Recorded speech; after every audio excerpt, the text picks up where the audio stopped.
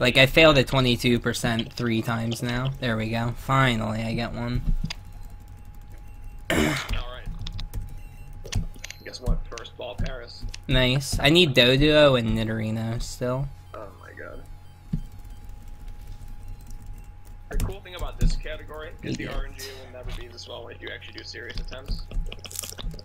Huh? It never will happen this like this, where it's you just get them all. Yeah. I'm getting wrecked by encounter rate too. It's pretty funny. I've been looking for at least 10 seconds without an encounter. No repels active. This might be the crazy. This might actually be the craziest RNG that's ever occurred to me. What is happening? Hello? Okay, hold on, hold on, hold on. This might be the least statistically likely thing that has ever happened in the Pokemon speedrun with this currently happening. This, oh my god. This actually might be the least likely thing that's ever happened in a Pokemon speedrun. Sure, you're not on no. Nope, I'm on pure encounter tiles. I still haven't gotten an encounter.